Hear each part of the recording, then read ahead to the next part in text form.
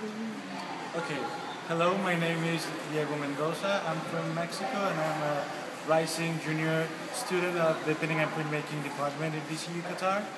This is my second year in Indonesia and this time I'm doing a workshop in screen printing and it's, it's wonderful. The students, it's the second day and they already got it. They're quite technically accomplished and we're very happy to share our, a little bit of what we do in the department in Indonesia. Thank you.